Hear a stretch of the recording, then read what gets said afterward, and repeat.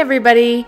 I want to walk you through a no glue technique lamination. It's gonna save you on time and honestly, I feel like the results are so much better. We're gonna finish it off with a henna treatment as well, so you'll be able to see both those services together. So once we've cleansed the skin with our oil-free cleanser, so here's lift lotion number one. You should only be using two pumps per eyebrow. So I like to put it on the back of my hand and then use what I need as I'm brushing it through the eyebrow hairs.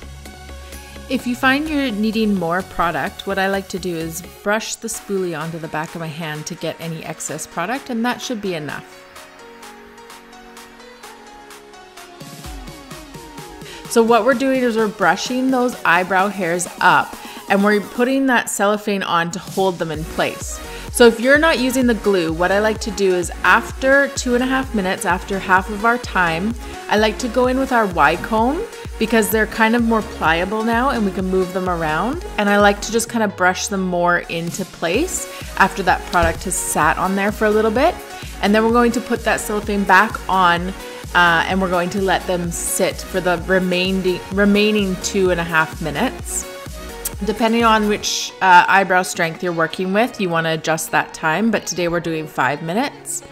So once our five minutes is up, I'm going to remove our excess lotion and then I'm going to apply water, which is going to help stop the activation. So that's really important. We don't want to leave the residue of the uh, lotion on there and they're going, if we do that, they're going to uh, over fry or over process. And so we want to make sure that we stop that activation with the water.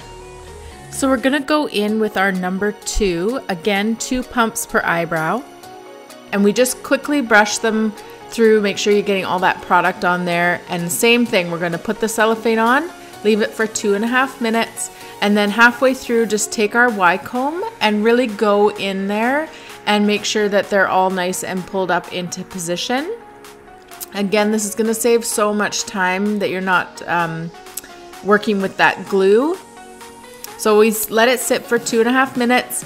We remove it. Same, we're going to remove all of our lotion and then we're going to take a wet Q-tip and we're going to make sure we stop all that activation. So you can see it's pretty wet on that Q-tip. You're getting quite a bit of um, water on there and then I kind of go over with the other side of the q-tip the dry side and just make sure that everything is dry before I apply the next step.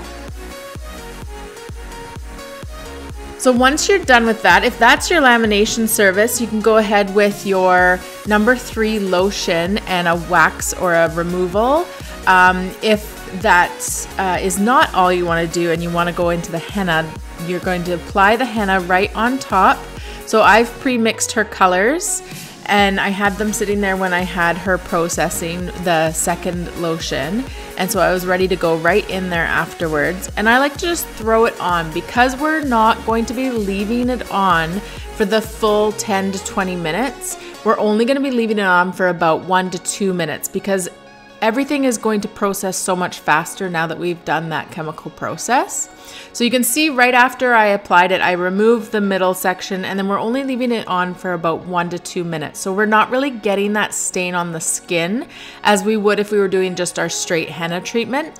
We're more tinting just the hair. So you're getting more of that microbladed, more of that hair stroke look.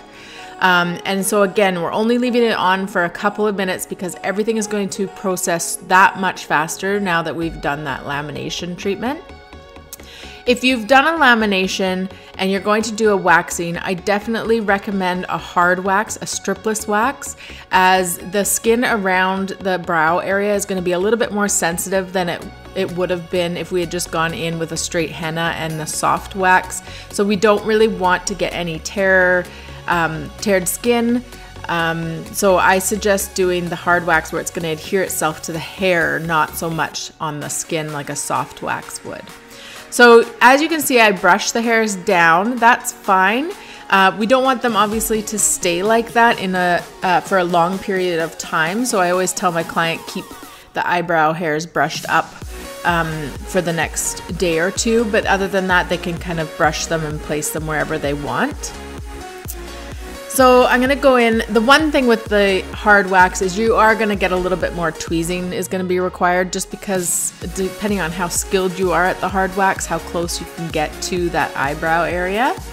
Um, so you wanna go in and finish off all your tweezing. And then what I like to do, this is my little trick, is I take my number three lotion and I do one pump into the brow soap. Sometimes one pump is just a bit too much. It makes it a little bit too soapy. So even just half a pump instead of using water. And then that will help um, nourish the eyebrows.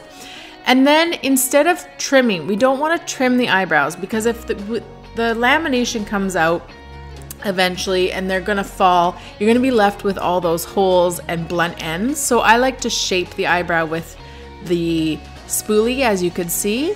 And then we're gonna finish off our treatment with our um, highlighter, brow highlighter. And I just find that this is a nice professional touch. Uh, my clients leave feeling like they've had a little bit more of a professional service, something a little bit extra that they necessarily wouldn't have done themselves. And then it's a great chance to talk to them about the products and maybe upsell them with a brow pencil or the brow soap that we use or our brow highlighter or any of our other products. So I hope this helped. If you have any questions, feel free to reach out to us at hello at beepampered.ca or go check out all of the rest of our videos on YouTube or on our website, shopbeepampered.com.